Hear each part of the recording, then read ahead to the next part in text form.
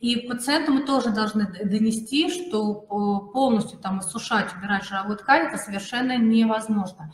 А, у меня был опыт работы э, достаточно продолжительный. Я работала в, ну, основной, наверное, 80% у меня была работа, связана с снижением веса, коррекцией фигуры. И я видела женщин, которые, добившись хорошего результата, их нужно было вовремя остановить, да, потому что здесь уже начинался гон, здесь нужно было остановить для того, чтобы а, не ушли мы уже с вами в состояние анорексии. Поэтому, а, да, работаем, но смотрим за психологическим статусом и состоянием нашего пациента. Это важно.